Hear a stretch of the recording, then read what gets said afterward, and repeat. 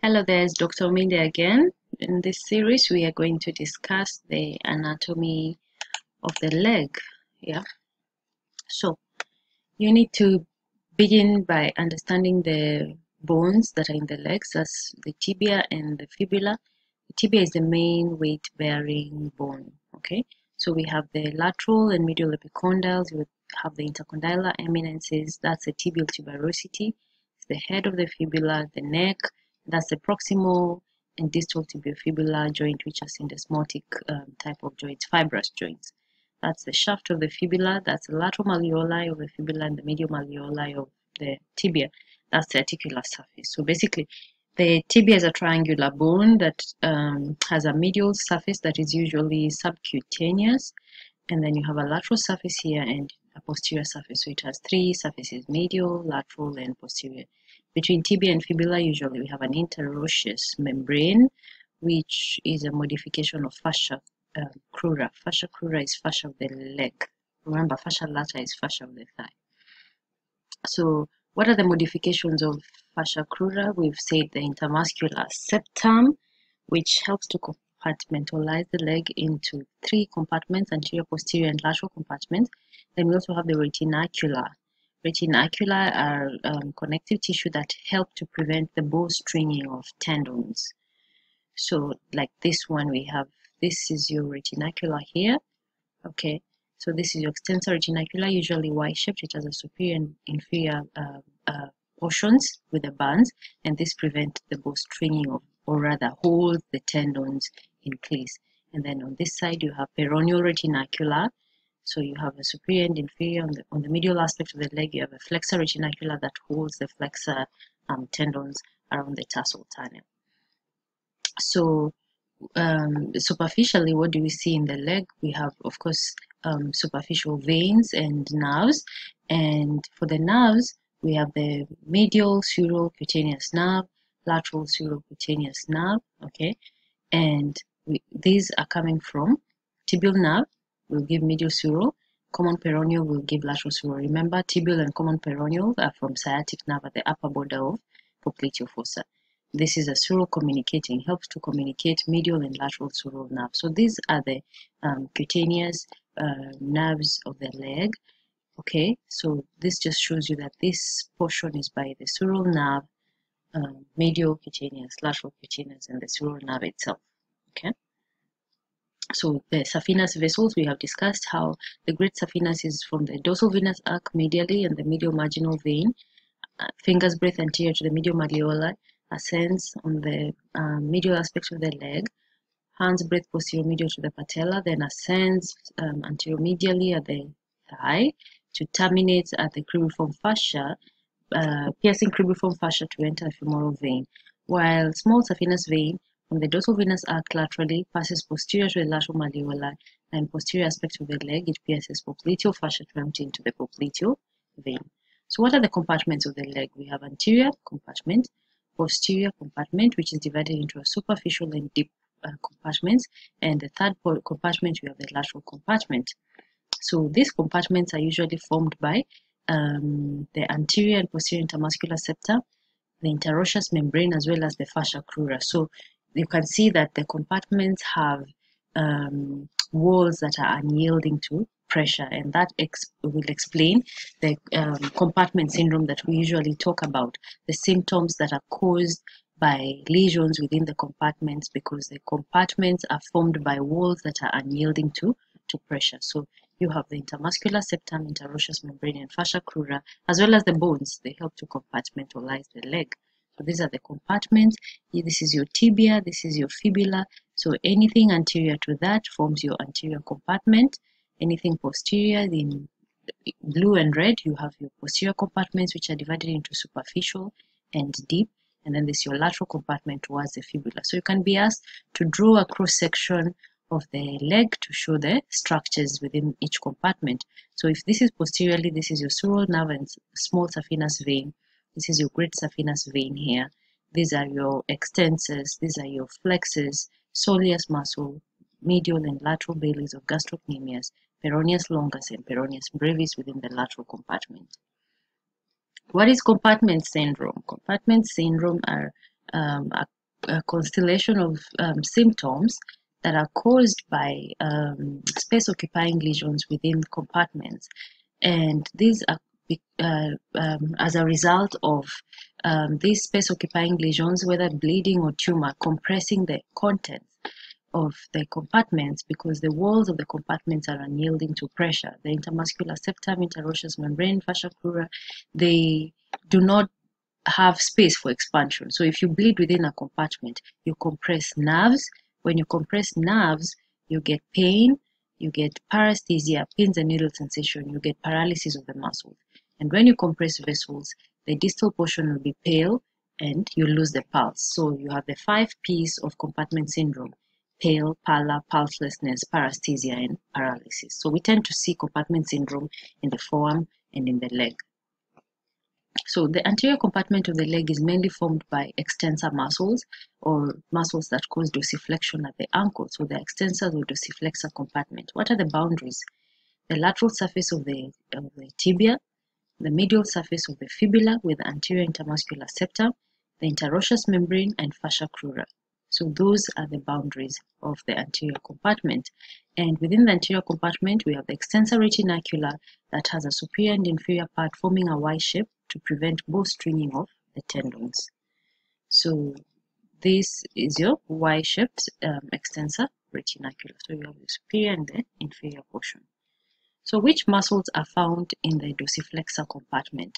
Tibialis anterior, extensor digitorum longus that will extend the digits, extensor hallucis longus extends the big toe and peroneus tertius. So what is the action of the muscles in the anterior compartment? They cause dorsiflexion at the ankle and they also extend the toes. The nerve of the anterior compartment is the deep peroneal branch of common peroneal nerve and the artery is anterior tibial from popliteal artery. So this is your tibialis anterior. It comes anteriorly this way this is your extensor digitorum longus to extend the digits. You have extensor hallucis that extends the, the, the big toe. So those are the muscles in there. We also have peroneus tertius muscles in the anterior compartment. And then this is your sciatic dividing into common peroneal and tibial nerve.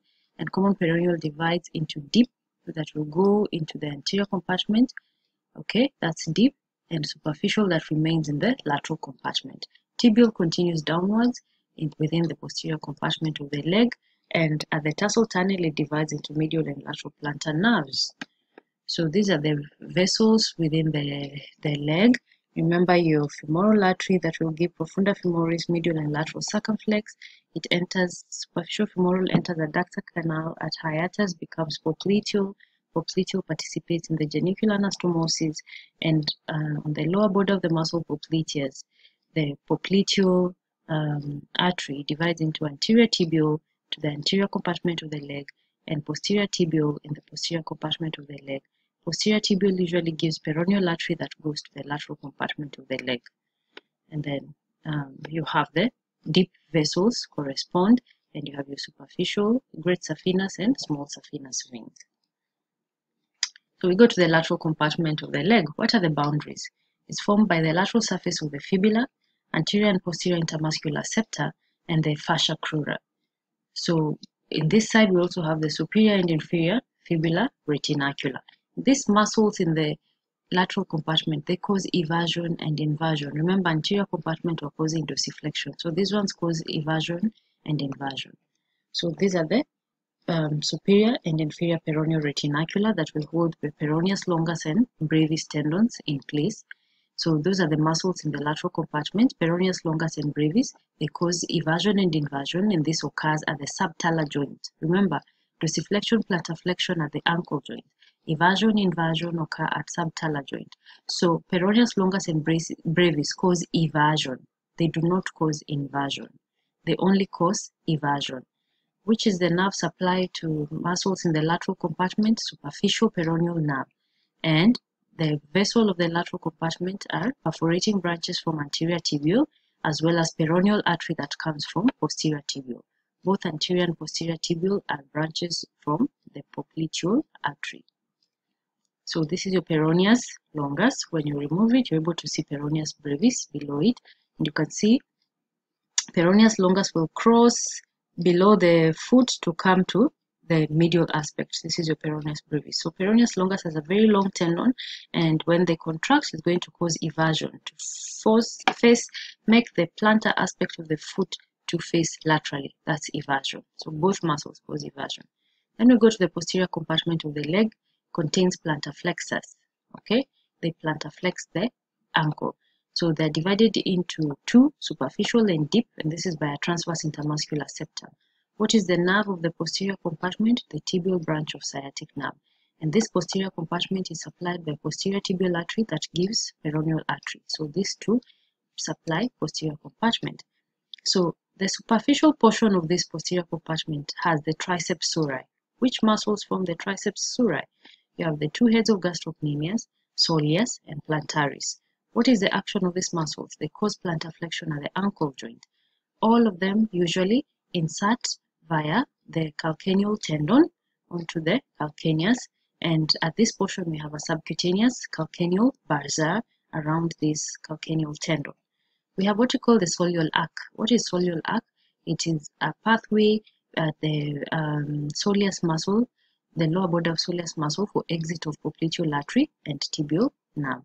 So these are your triceps surae, two heads of gastrocnemius. You have your soleus here, plantaris is usually on the lateral aspect, and you have your Achilles tendon. So you have your uh, calcaneal bursa around this portion. So these are the calf muscles. Look at your soleus here. Okay, so this is your plantaris muscle towards, um, that's your plantaris muscle there. And this is your soleus after you remove the gastrocnemius. This is what you appreciate. This is your Achilles tendon or tendon calcaneus inserting onto the calcaneal bone. That's the subcutaneous bursa, okay, at the um, where Achilles tendon inserts. This is your soleal arc, okay, above the soleus muscle. That's your soleal arc. That's where tibial nerve and popliteal vessels will enter. Okay, that's you can appreciate that. That's your soleal arc, okay, and then that's your common peroneal nerve. This is your tibial nerve from sciatic so the deep part of the posterior compartment has four muscles. Number one, the popliteus. Remember we said it unlocks the knee. Unlocking of the knee, again, I say, is the lateral rotation of the femur on the tibial condyles from an ex, uh, uh, fully extended position to allow um, flexion of the knee. So the rest of the muscles in the deep part of the posterior compartment, they cause plantar flexion at the ankle and they also flex the toes. These include flexor digitorum longus will flex the digits, flexor hallucis longus will flex um, the big toe and tibialis posterior muscle. So if you look here, this is your flexor hallucis, this is your tibialis posterior, this flexor digitorum. They all come medially on the uh, medial aspect of the ankle in what we call the tarsal tunnel, and this uh, corresponds with the carpal tunnel in the wrist. So your popliteal artery will give anterior tibial and posterior tibial. Posterior tibial is in the posterior compartment. It gives peroneal that comes towards the lateral compartment. Posterior tibial continues in the posterior compartment, passes through tarsal tunnel, and on the plantar aspect of the foot, it divides into medial plantar to supply medial aspect of the foot and lateral plantar to supply lateral aspect of the foot. That's your popliteal artery, and that's how it divides. So you can see posterior tibial and your peroneal artery. Again, uh, um, common peroneal on the head of the fibula, it winds on the neck, then gives superficial peroneal to the lateral compartment and deep peroneal to the anterior compartment. Popliteal artery divides into anterior and posterior tibial. Anterior tibial pierces interosseous membrane, comes into the anterior compartment of the leg, and at the mid-malleolar point, it becomes the dorsalis pedis artery. So that's your popliteal artery. This is the posterior surface. You can appreciate the peroneal artery here, posterior tibial popliteal artery gives anterior tibial pierce interosseous membrane to come into the anterior compartment and posterior tibial gives peroneal. So both posterior tibial and peroneal and the posterior compartment, but the peroneal gives perforators that will supply the lateral compartment of the leg. So what's the clinical relevance? Compartment syndrome, which we have already talked about, calcaneal tendinitis, inflammation of the tendon or bursitis of the bursa, foot drop, and you need to appreciate that the muscles, the triceps surae, give a muscle pump that provides a venous return. So they're able to um, facilitate venous return. Remember, blood